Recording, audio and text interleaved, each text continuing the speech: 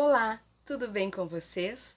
Eu sou Michele Moscardini Lopes, sou aluna do curso de mestrado na UERGS em Guaíba, PPG STEM, e hoje estou aqui para convidá-los para o lançamento virtual do livro A Docência em STEM. Vai acontecer no dia 1 de junho, às 16 horas, no canal do YouTube do programa de mestrado PPG STEM, no qual sou autora do capítulo 3, que tem como título uma intervenção lúdica, contextualizada e significativa com expressões numéricas no quinto ano do Fundamental.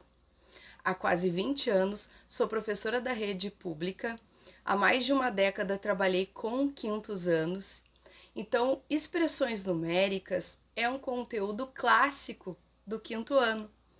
E os professores geralmente trabalham por meio do ensino tradicional vigente, explicam as regras e trazem uma série de exercícios envolvendo o tema.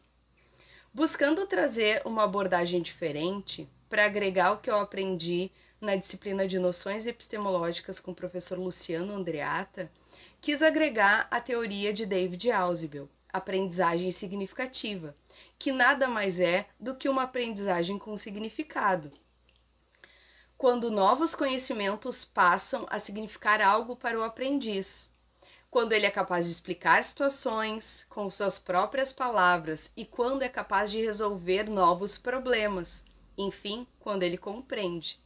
E dentro dessa abordagem da aprendizagem significativa, três eixos fundamentais, três conceitos são envolvidos: o significado, a interação e o conhecimento.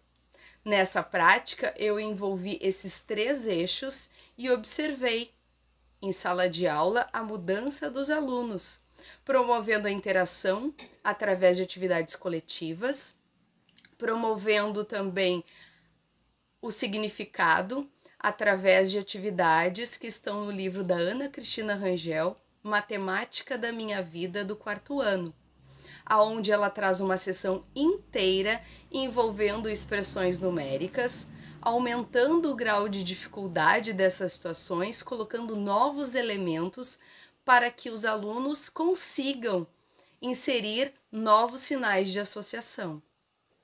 É uma experiência muito rica, aonde eu conto no capítulo os alunos eles uh, demonstraram uh, que ocorreu uma aprendizagem significativa porque eu fiz um teste inicial e um teste final através de questionários, aonde eles colocavam, né, uh, apresentavam alguns subsunsores.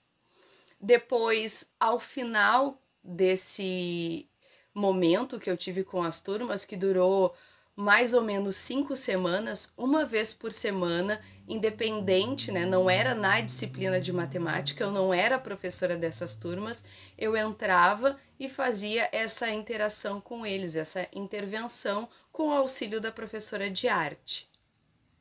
Os alunos tiveram uma mudança porque o argumento deles ficou mais rico, do início para o fim, aonde no início eles já tinham uma noção mecânica de como se estudava e como se trabalhavam as expressões numéricas e nunca haviam aplicado dentro de histórias, de situações reais. E isso fez com que esses alunos ampliassem né, essa noção de expressões numéricas. As respostas ao final tinham mais argumentação, e a linguagem é um fator muito importante desta aprendizagem significativa, porque quando o aluno expressa realmente o que ele está sentindo, o que ele aprendeu, a gente consegue avaliar e significa que interiorizou nele tudo isso. Eu agradeço muito a atenção de vocês. No meu capítulo eu descrevo muito mais sobre essa experiência e deixo aqui também o convite que vocês apliquem, agreguem nas práticas de vocês também uma aprendizagem significativa. Convido vocês a lerem os demais capítulos do livro que está muito interessante. Muito obrigado a todos!